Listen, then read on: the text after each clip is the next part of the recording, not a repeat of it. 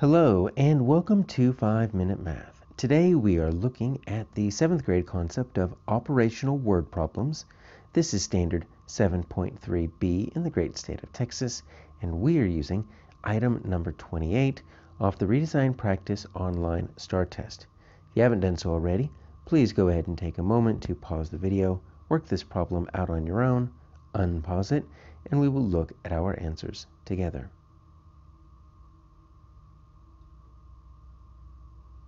So we have Miss Avery selling tomatoes, and we got 4.8 tomatoes on each of three days, and then 5.6 tomatoes on each of four days. And so, how many pounds of tomatoes did Miss Avery sell? Let's open up that graph draw feature. Seems like it's a pretty straightforward problem. So, I'm going to draw a picture, and then I'm also going to uh, just work this in an equation as well, right? So, on this first week, we've got three days. You know what, let's use the draw feature there. So let's do three days, and I'm just going to put boxes. Each of these are a day, and each of these are 4.8. So that's that first week. All right, and then the second week, I've got four days, right? So let me just put four boxes and each of these are going to be 5.6. So there's my really rough picture. And then my question is, how much do I have? Uh, how much did Miss Avery sell in those two weeks? Well, what am I going to do? I'm just going to add everything up. So if I really wanted to, I can line everything up into a huge uh, addition problem if I want to, right? 4.8 4.8, 4.8, and then 5.6, 5.6. But if you do this, there's a chance that you might obviously mess up. That's a huge addition problem. Typically, when we see something like that, we think, can we make it easier? And yes, we can, because I can also write this as an equation. So, when we see 4.8 pounds of tomatoes on each, okay, each means equal groups. And when you see equal groups, you should automatically think, all right, we're going to either multiply or divide. In this case, each of these groups, uh, there's three groups,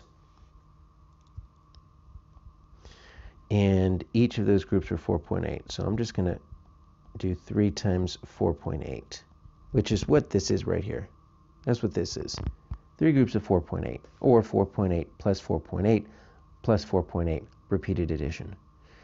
And then I need to add together the 4 pounds of the 5.6 because it's also each. 5.6, which is what this is down here.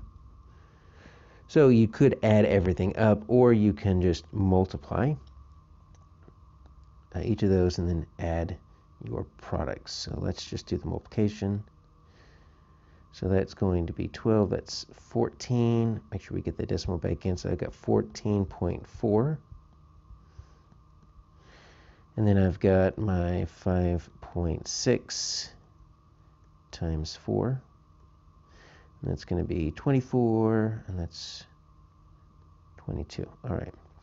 Bring that decimal back in. So 22.4. And I don't even need to regroup, right? That it looks like that's going to be that 36 and 8 tenths. Now, does it really work if you do this repeated, this addition over here? Sure.